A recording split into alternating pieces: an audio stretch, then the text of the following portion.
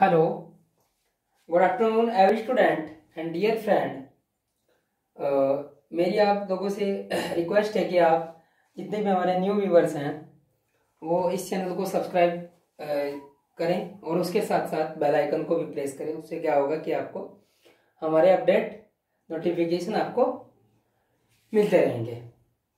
और uh, इन videos को लाइक करें और चैनल को सब्सक्राइब करना ना भूलें। और अपने दोस्तों के साथ इन वीडियोस को शेयर करें। तो डिस्कस करते हैं आज हम आपका सब्जेक्ट जनरल इंजीनियरिंग का, जो आपका पार्ट है सिविल इंजीनियरिंग पार्ट बी उसको, उस पर डिस्कस हमारा चल रहा था। लास्ट लेक्चर में हमने क्या किया था? ब्रिक्स के टेस्टिंग ऑफ़ ब्रिक्स किया था। आज हमारा जो सेकंड टॉपिक है, वो है लाइम चूना, ठीक है? तो लाइम पर डिस्कस करेंगे। लाइम क्या है आपका कि चूना? इसमें क्या है कि ये काफ़ी पुराने टाइम से आपका एक कनेक्टिंग मटेरियल है। कनेक्टिंग मटेरियल जैसे कि आप ब्रिक्स को जोड़ना आपका ठीक है स्टोन को जोड़ना उन सभी में ये आपका काफ़ी पुराने टाइम से यूज़ होता हुआ आ रहा है ठीक है? लाइम दूसरा क्या है कि लाइम बहुत जल्दी कर, आपका क्या है कठोर कठोर अवस्था में आ जाता है ठीक? पानी के साथ मतलब वाटर के साथ रिएक्शन होने के साथ। अब उसको देखिए कि आपका लाइम मतलब चूना बनता कैसे है, उसको देखिए। C A C O three limestone लेंगे आप। लाइम स्टोन का क्या करेंगे? कैल्सिनेशन करेंगे, ठीक है? कैल्सिनेशन क्या है इसको? Nine degree nine hundred degree centigrade पर इसको क्या करेंगे? कैल्सिनेशन करेंगे, इसको हीट करेंगे, गर्म करेंगे। आपका ये किस किसमें ब्रेक होगा? सी ए ओ लाइम में और आपका सीओ टू कार्बन डाइऑक्साइड में, ठीक है? सीओ टू मतलब कार्बन डाइऑक्साइड में रिलीज़ हो जाएगा। तो इस तरह आपको क्या है? लाइम आपको मिल जाता है। किससे? सीओ सीओ थ्री से सी। सीओ थ्री से लाइम स्टोन से अब उसके बाद application of lime application of lime में हम आपको उसको बरबरी बता देते हैं। देखो एप्लीकेशन कहाँ कहाँ है इसके। उन एप्लीकेशन को आप डिस्कस करिएगा। एप्लीकेशन में क्या है कि आपका फ़र्स्ट जैसे बात करते हैं तो फ़र्स्ट क्या है?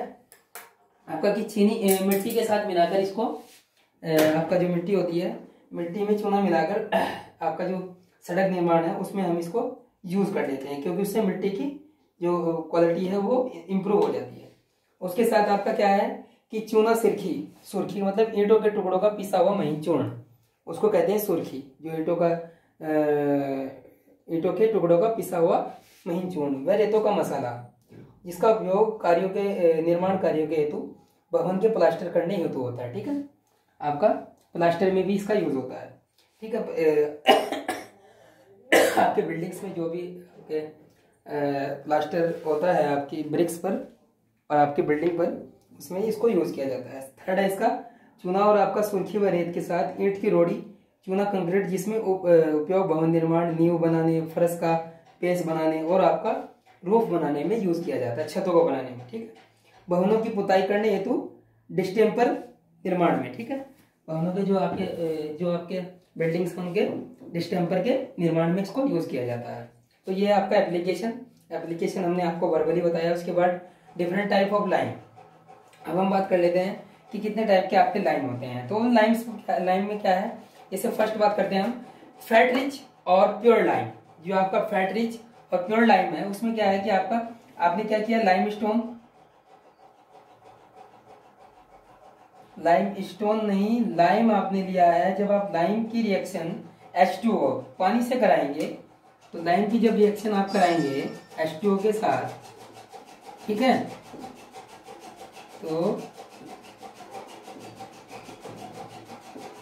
आपका क्या करेंगे? स्लैकिंग करेंगे। स्लैकिंग ठीक है? स्लैकिंग मतलब इसको बुझाएँगे, क्योंकि H2O H2O से आपकी रिएक्शन होगी।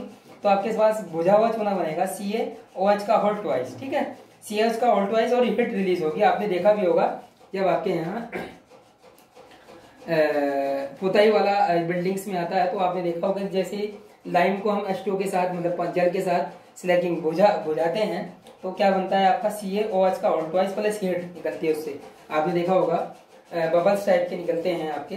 अब उसके बाद देखिए, जो आपका प्योर लाइम है वायुमंडल की सीओ से केमिकल रिएक्शन करने के बाद, जो आपका ये लाइम है, ठीक है, ये वाला लाइम है आपका, इस लाइम में जैसे ये सीओ के साथ रिएक्शन करता है, करने पर ये कैल्शियम कार्बोनेट बन जाता है। तो कैल्शियम कार्बोनेट बनने के बाद, जैसे चूने का जमना कहते हैं, ठीक है, देखिए सी का ऑल्ट वाइज उसके बाद सीओ के जो आपका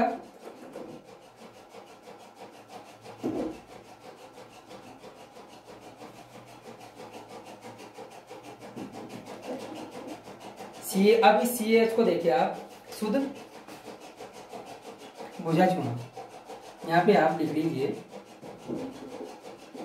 क्योंकि रिएक्शन को हमें बनाना पड़ेगा इसको। इसमें थोड़ा सा मुश्किल है। मिस्टेक कुछ नहीं है। शुद्ध आपका जो बुझा चुना है, जब हम इसको देखिए, जब हम सी ओ एच को होल्ट वाइज को मतलब हुए चुने को सीओ टू से रिएक्शन कराएँगे तो क्या बनेगा आपका? C A C O three plus S two देखिए, फिर उसी फॉर्म में आ गया आपका लाइम स्टोन बन गया, ठीक है? सी एस क्या है आपका लाइम स्टोन प्लस आपका क्या है? जल, इसमें एच टू क्या है? आपका वाटर तो ये आपका जब कार्बन डाइऑक्साइड से रिएक्शन करेगा तो क्या करेगा आपका? C S three plus H two ठीक है? तो ये हमारा फैट रिच और प्योर लाइम बन गया. तो ये हमारा एक टाइप का आपका क्या है? प्योर आपका शुद्ध चूना है, ठीक है? अब इसके बाद सेकंड सेकंड बात करते हैं आपका पोअर और लैन लैन लाइन इसमें क्या है कि आपका फाइव परसेंट, इसमें फाइव परसेंट से अधिक इम्प्योरिटी होती है आपकी। जो है पाँच परसेंट से ज़्यादा क्या होती है आपका? अशुद्धियाँ मिली होती है। यह चूना जो आपका है लो क्वालिटी का होता है, ठीक है? यह बुझने में अधिक समय लेता है। ये ये देखो, ये क्या है? काफ़ी कम समय लेता है बुझने में। ये आपका जो है पोरो लेंथ लाइन आपका क्या करता है? बुझने में काफ़ी समय लेता है। यह चूना प्लास्टर काटने या मसाला बनाने के काम आता है, ठीक है? ये आपका पोअर लाइन होगा अब हाइड्रोलिक हाइड्रोलिक लाइन की बात करते हैं थर्ड यह चूना पानी की उपस्थिति में जम जाता है, ठीक है? जैसे इसको वाटर से रिएक्शन करते हैं हम हाइड्रोलिक लाइन की तो ये क्या करता है आपका? पानी के साथ जम जाता है, ठीक है? अब उसके बाद इसमें जमने के साथ ही क्या करता है? और कठोर हो जाता है, क्योंकि कठोर तो होगा, इसके पानी के साथ रिएक्शन करेगा। इसलिए इसे आपका क्या हाइड्रोलिक चूना या जलीय चूना भी कहते हैं। यह चूना कैल्शियम सिलिकेट एवं एल्यूमिनियट के क्रिस्टलों के कारण जमता है, ठीक?